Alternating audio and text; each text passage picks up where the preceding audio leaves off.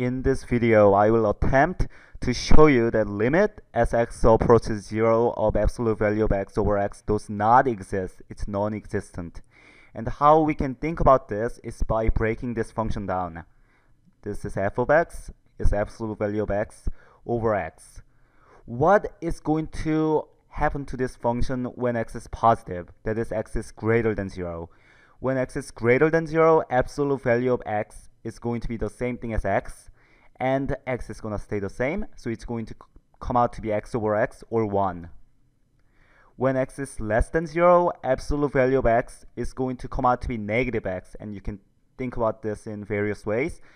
Let x equal to negative 1 then absolute value of x is going to be absolute value of negative 1 which is going to be 1 and you see this is negative of x or negative of negative 1 so if x is less than 0, absolute value of x is going to be negative x.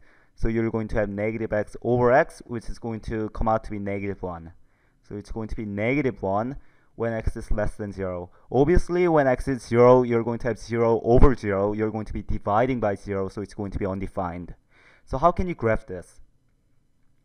Well, when x is more than 0, it's going to be a 1. When x is 0, it's going to be undefined. So it's always going to be a 1 when x is positive, and when x is negative, it's always going to be negative 1. When you plug negative value into it, you're going to get negative 1. When you plug positive value into it, you're going to get positive 1. So you got this graph.